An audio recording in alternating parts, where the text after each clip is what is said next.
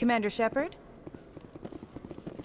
Khalisah bint Sinan al-Jilani, Westerlund News. Would you answer a few questions for our viewers?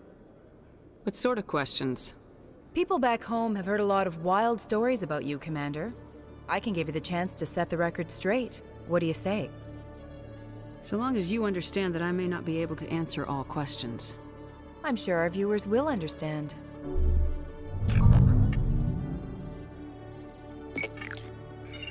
Humans have been trying to get the respect of the galactic community for 26 years. With that in mind, what are your feelings on being the first human Spectre? We all know it should have happened years ago. I hope the Council realizes that we won't sit at the kids' table forever. Some believe that without firm action on our part, the Council will continue to treat us like poor relations. Have you encountered any situations where the Citadel asked you to place its needs before the needs of Earth?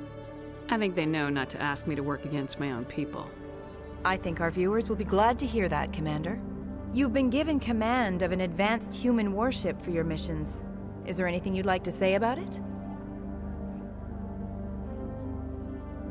Many details are still classified, I'm afraid. I can tell you she's a fine ship and has the best crew I've ever served with. Some members of that crew are aliens, as I recall.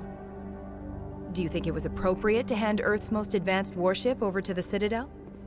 I've had enough of your snide insinuations.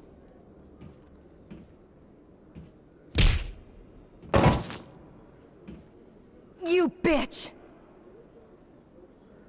I'll make sure everyone in the Alliance sees that. Your career is over.